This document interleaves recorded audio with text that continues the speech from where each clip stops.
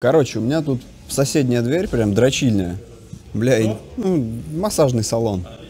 Ну, вот, интересно так. Ну, это из прикольных моментов. Короче, э, ну, сейчас э, темнеет уже рано, а вот летом вообще интересно, типа, мы пока тут перед тренировкой там собираемся, пояса завязываем, общаемся.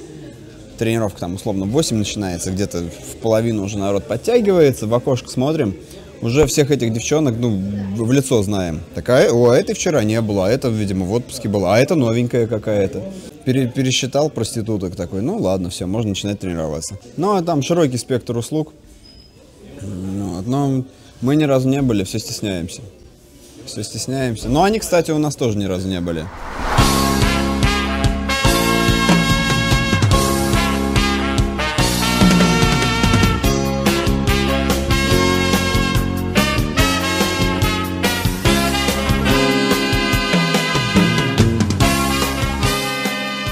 Доброе утро! Что нового там у них, что нового здесь у нас, это ньюзости на BGG Freaks.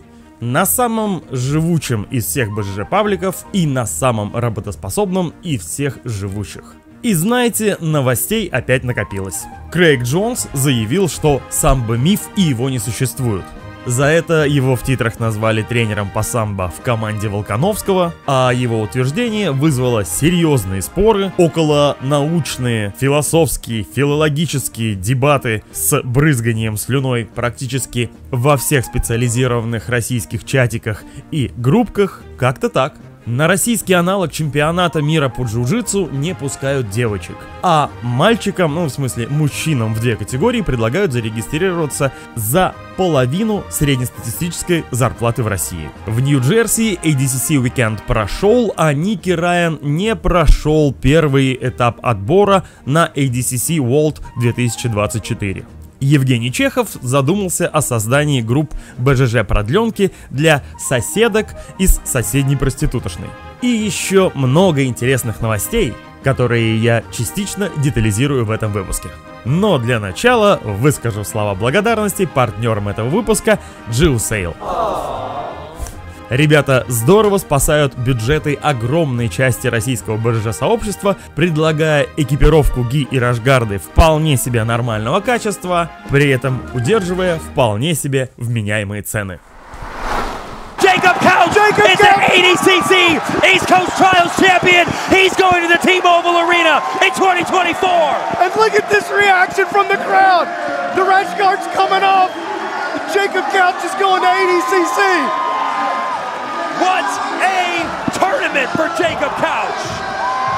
He submits El Monstro in the finals in Atlantic City. Бомбовые ADCC выходные прошли в течение трех дней в Нью-Джерси. Для начала в пятницу размялись любителей на ADCC Jersey Open. Это для тех, кто просто хотел рубануться по правилам ADCC и набить себе немного опыта по данному своду правил. А в субботу и воскресенье нас радовал ADCC East Coast Trials, который собрал максимально амбициозных атлетов, полных сил и неудержимого желания претендовать на титул чемпиона ADCC World, который состоится в 2024 году. Примечательно, что ADCC East Coast Trials – один из самых тяжелых отборочных этапов на EDCC Worlds. Конкуренция в каждом дивизионе настолько высока, что претенденту на финал приходится бороться по 6-9 матчей в сет, и только один победитель из каждого дивизиона правомерно попадает в списки участников чемпионата мира. Эти испытания примечательны своими максимально агрессивными зарубами. Тут парням нужно проявить максимум атлетичности, техничности и выносливости, ибо большие ставки на кону, и добраться до финала в американских триалах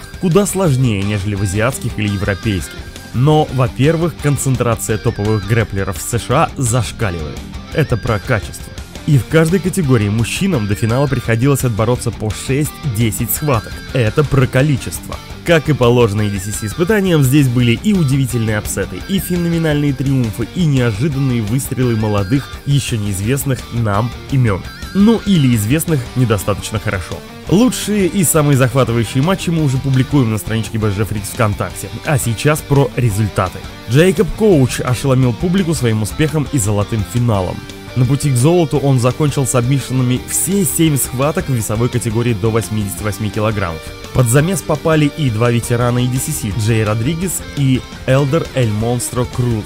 Именно победа над Крузом была особенно значимой для коуча. До этого финала их личный счет составлял 3-0 в пользу Эль Монстро, и хилл-хук в финале от коуча это первая и самая громкая победа в его карьере над данным соперником. Ранее коуч уже был в списках запасных игроков на чемпионате мира EDC 2022 года, но его так и не пригласили к участию.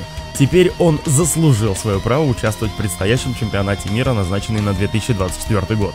В весовой категории до 77 килограммов Элайджа Дорси возглавил шоу, победив в финале самого Ники Райана, которого пророчили в качестве номера один в этом весе. На решение судей повлиял поздний тейкдаун, которым Дорси вырвал победу у трехкрасного ADCC ветерана. А между тем Райан шел к финалу более чем уверенно, засобмитив шестерых своих соперников – но в финале удача отвернулась от него. Дорси и ранее был известен, но как атлет, подающий надежды в борьбе в ГИ. Теперь он твердо вписал свое имя в число лучших игроков ноуги. Большой Дэн Моносоу из New Wave также провел один из самых впечатляющих стартов в своей молодой карьере, завоевав золотую медаль в весовой категории 99+, аккурат на свой 22 день рождения. Пять соперников, пять схваток досрочно. И это его вторая победа на EDCC триалах за последние два года. Ждем его на чемпионате мира. Пол Ардила также вернется в EDCC в пятый раз после завоевания своего четвертого титула на соревнованиях EDCC Trials в категории 99 килограммов. В свои 32 года Ардила был, пожалуй, самым возрастным участником в своей категории. А вот Дориан Оливарес стал самым молодым спортсменом, выигравшим путевку на EDCC 2024 года, одолев всех в своей весовой категории 66 килограммов. И это ему всего 17 лет. Оливарес, который тренируется в основном в своем гараже, является чемпионом штата по рестлингу на уровне средней школы. Стыдно сказать, но парень выглядит как будто бы он не тренируется в гараже, а где-то там дерется за гаражами, а иногда еще подбухивает. Ну, во всяком случае, такая у меня ассоциация по аналогии с теми ребятами, которые живут у меня на районе и подбухивают с 17 лет. Но на этих испытаниях он продемонстрировал жесткий и всесторонне развитый грэплинг. Оливарес на пути к золоту низверг двух ветеранов ADCC, Джани Гриппо в четвертьфинале и Итана Клеренстона в полуфинале. Три женщины также выиграли золото на прошедшем EDCC East Coast Trials, но не пробили себе путевку на чемпионат мира в 2024 году. Они получили бесплатный вход на испытание EDCC на западном побережье, которое состоится в марте 2024 года, и там у них будет возможность возможность побороться за место в чемпионском карде. Кстати, в женских категориях тоже было достаточно неожиданностей. Алекс Энрикес дошла или дошло до финала, где одержала победу судейским решением над потенциальным лидером категории Жасмин Роша. На удивление публики, кстати. Морган Блэк удивила публику, когда в финале весовой категории до 65 килограммов обыграла феноменальную юную спортсменку Хелену Клевер. Фанаты Данахера расстроились. Хелена тоже жестко обломалась, хоть и пыталась не подавать виду. Ветеран ADCC Аманда Леве в весе 65 килограммов на классе победила всех четырех своих соперниц суммарно за 6 минут и 4 секунды и в финале исполнила submission за минуту 18 секунд. Еще раз напоминаю, что лучшие матчи мы порционно выкладываем в группе BJJ Freaks ВКонтакте, а также следим за дальнейшими развитиями в отборе на ADCC 2024. И разумеется, сделаем все, чтобы наши подписчики смогли посмотреть это шоу бесплатно. Кстати, дата следующего чемпионата мира ADCC World Championship, который проводится раз в два года, уже известна. И сие грандиозное событие произойдет в Лас-Вегасе 17 и 18 августа.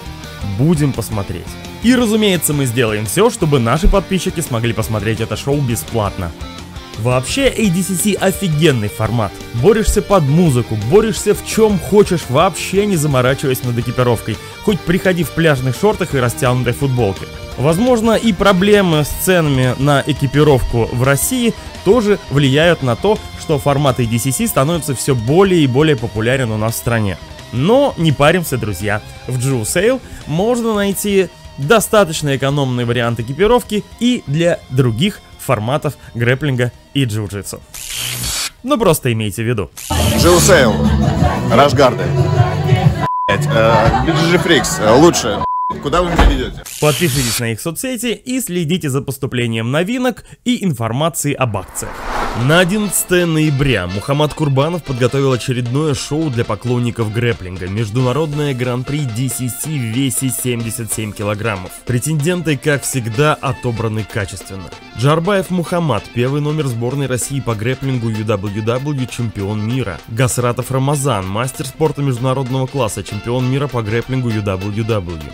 Газиев Газимагомед – молодой проспект, победитель прошлого турнира DCC в весовой категории 77 килограммов и поэтому является обязательным участником предстоящего гран-при. Ислам Мамилов, первый номер в этой весовой категории в Казахстане, черный пояс по бразильскому джиу-джитсу. Рустам Кимрюгов, черный пояс по БЖЖ и опытнейший спортсмен. Адильхан Валиев дважды одерживал победы на турнирах DCC в весовой категории 77 килограммов и тем самым заслужил свое право участвовать в гран-при.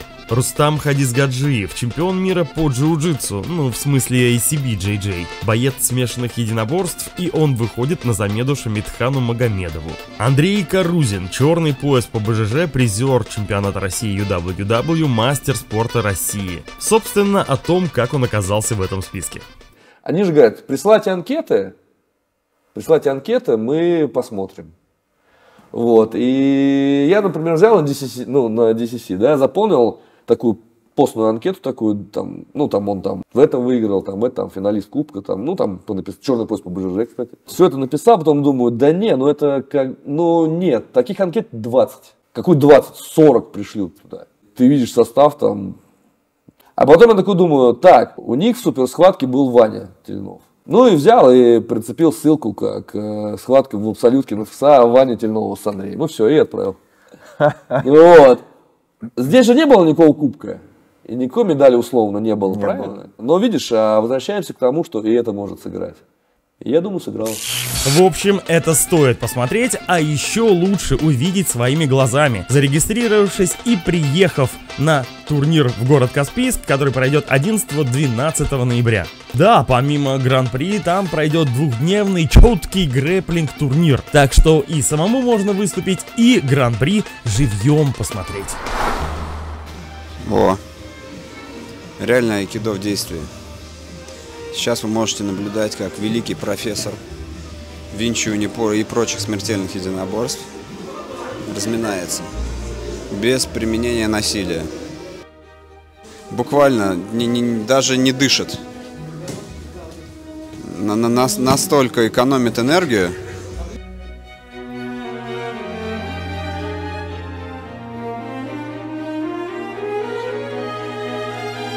Алексей Владимирович с любовью смотрит на малыша, садится сверху.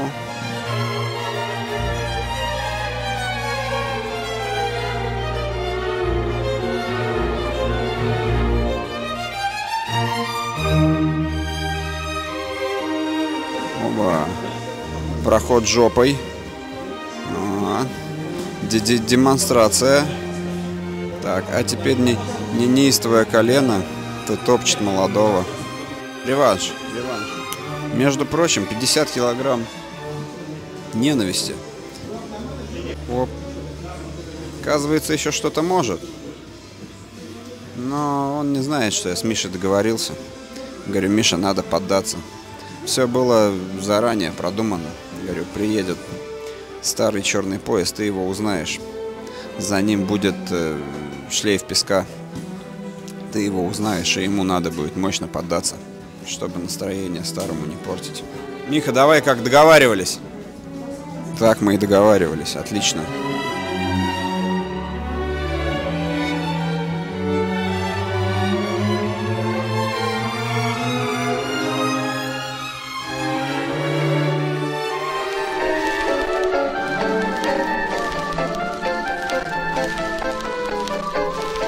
Субботу мы благополучно потратили, смотавшись на день борьбы и на день рождения в гости к Евгению Чехову. А мой день рождения в апреле. Ну, разумеется, это был день рождения клуба Prime Jiu-Jitsu, который в субботу отметил год своего существования. А открыть клуб в этот период было серьезной задачкой, но, кажется, Евгений с ней справляется. Традиционно, буквально в стиле газеты «Советский спорт», мы задали Евгению несколько вопросиков на тему поставленных целей и достигнутых результатов. Слушай, успехом, наверное, это сложно назвать. Это такой э, рост, то есть рост есть, он виден, и он, конечно, не такой быстрый, как хотелось бы, но в целом те цели, которые я видел ровно через год, процентов, наверное, на 90, на 95 я до них добрался. Самое сложное – тащить эту историю в одного. Братан в процессе откололся, потому что, ну, тоже люди растут, перерастают, как-то своими делами начинают заниматься. Он меня страхует, да. Ну, типа, конкретно моя история, я там себе еще пару работ придумал, и получается, ну, типа, с работы на работу идешь, массажный салон. Тяжеловато пере, пересчитал проституток такой, ну ладно, все, можно начинать тренироваться. Глаз замыливается, возможно, что-то в методике меняется. Я себе стал другие цели ставить. Изначально я хотел, вот у меня там есть полка, я хотел, чтобы она была заставлена командными кубками. А сейчас в целом, да и срать мне на командные кубки. Я хочу, типа, чтобы все сюда приходили с удовольствием, и они хотели, ну, типа, э, вместе время проводить. Ну, мы там еще много о чем говорили, но об этом в наших других федерачах и сюжетах. В общем, праздник прошел на славу. Кто хотел побороться, поборолся. Кто не хотел и пришел исключительно на тортик и шампанское, благополучно отсиделся в сторонке. Короче, самое мое большое негодование касаемо открытых ковров. Вот нахуя приходить и сидеть смотреть, как борются все остальные. Ну, ты же уже приехал. Ну, отборись ты этих ссаных там 10-15, я не знаю сколько схваток максимальный плюс джиу-джитсу в чем? Самое страшное, что может случиться, ты просто устанешь. Ну, это не страшно. Многие за этим сюда идут, с этим приходят. Вот посмотри, типа, пришли посмотреть на красивых мужчин. Ладно, я там, ну, типа, инвалид сегодня это, со стороны смотрю. Но ты, ты, блядь, ты встал, выходной день встал, какие-то вещи собрал с собой, приехал и сидишь, блядь. Ну, встал, отдохнул, пропущу одну. Братан, ты жизнь свою пропускаешь. День рождения прошел в лучших традициях, с улыбочками, вкусным брендированным тортиком, в кругу друзей и единомышленников, с умеренным количеством праздничных напитков. А сегодня тот самый день, когда можно пить не только воду на ковре, но и немножко шампанского. Прям джиу-джитсу один год, и я, пожалуй, впервые поборолся э, в этом клубе, несмотря на то, что посещал его достаточно регулярно. Мы здесь вместе с Женей провели кучу семинаров, наши триалы по синим и по белым поясам. Есть версия, что мы будем еще что-то продолжать здесь и по синим, и по белым, по пурпурным ги, ноги и так далее. Женя еще не знает, но мы договоримся. А, он уже знает, он вот он. О чем? Тебя все равно не слышно, поэтому просто кивай. У тебя же микрофона нет. О том, что в этом зале мы уже много чего делали совместно с тобой, еще много чего будем делать. Просто кивай. Ну а пока запишите себе в календарь ближайшее событие в Prime Jiu-Jitsu. Семинар Стаса Варшавского по работе в Хавгарде. Как кто-то писал в комментах к матчам Станислава Варшавского на недавнем AGP Евроконтиненталь, лучшего Хавгарда в России. В общем, освобождайте время и регистрируйтесь на семинар. Концепции защиты и атаки. Пока можно вписаться по льготной цене. Лишним не будет. Подробности смотрите в описании. По белым поясам Люди, во-первых, не сильно быстро реагируют, а во-вторых, сильно суд. А на сайте BGG School Online пополнение коллекции важных тем из серии «Это должен знать каждый». Особенно, если вы планируете участвовать в соревнованиях или выигрывать на соревнованиях. Что такое графпул? Графпул это падение на жопу, да, когда вы в стойке падаете на жопу, у вас появляется гард. Михаил Панков представил свой новый видеокурс «Наука затягивания в гард 2.0». Крайне необходимый аспект джиу-джитсу, которому уделяется удивительно мало времени на тренировках, а между тем это первое, с чего начинается каждая БЖ-схватка. Независимо от того, роллинг ли это на тренировке или принципиальное рубило на соревнованиях. И кажется, Михаил Панков первый, кто посвятил этой теме Какая идеальная стойка для гардпула? Как выбрать идеальный момент для гардпула? Что можно делать и чего делать нельзя категорически. Разные дистанции, разные гарды, но глобально единые правила и формулы. Смотрите, я специально проговариваю каждый этап упражнения для того, чтобы вы его, блядь, сделали. Не смешали его в кашу, да, там, не превратили его в говно. Михаил разбирает науку прохода в теории, практических упражнениях, комментариях и в процессе исправления ошибок учеников. Вам никто, блядь, не сказал упираться ногами в тазгу. Колени к себе, стопы широко, стопы у нас смотрят в потолок. Все друг другу ноги в яйца толкают. Ну, бля, в клуб фуд-фетиша? Этот видеокурс абсолютно точно должен быть в вашей коллекции. Как всегда, простым языком и иногда матерным, доходчиво, толково, логично. Прямая ссылка на получение доступа к видеокурсу будет в описании. В общем, на сегодня все. Кажется, хватит. Занимайтесь джиу, копите деньги на чемпионат мира, уважайте друг друга и веселитесь на татами. Не пропускайте ближайшие турниры, достойные внимания. Вся информация об он их находится в нашем паблике BGF Freaks и легко находится по тегу BGF календарь. Собственно, за сим на сегодня все. Ус! И все такое.